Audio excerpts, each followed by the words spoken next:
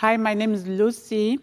I'm going to read our second lesson from Micah 5, verses 2 to 4. But you, O Bethlehem of Ephrathah, who is one of the little clans of Judah, from you shall come forth for me one who is to rule in Israel, whose origin is from of old, from ancient days.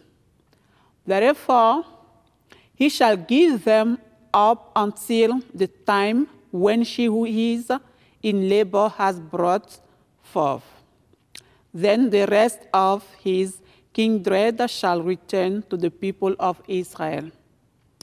And he shall stand and feed his flock in the strength of the Lord, in the majesty of the name of the Lord his God.